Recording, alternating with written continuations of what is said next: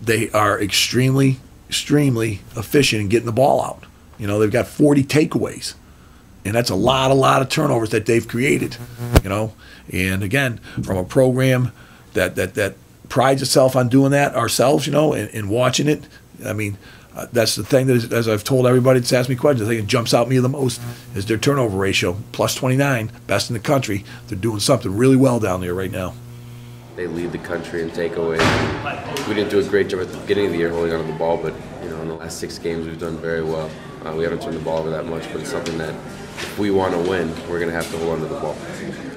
I I think the, the biggest thing for us is just to continue to do what we do and take what the defense gives us and secure the ball. You know, you know, every day we start practice with a ball security circuit. You know, tuck the thing away.